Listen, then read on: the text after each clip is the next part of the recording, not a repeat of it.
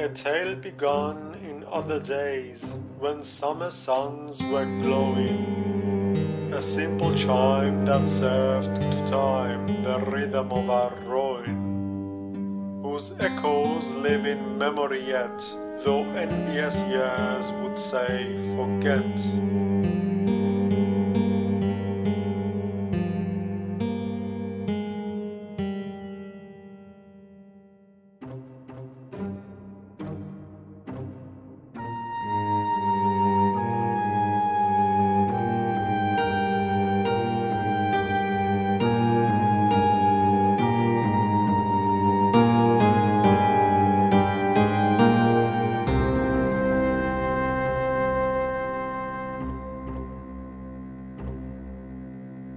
Come hearken then, a voice of dread with bitter tidings laden, shall summon to unwelcome bed a melancholy maiden.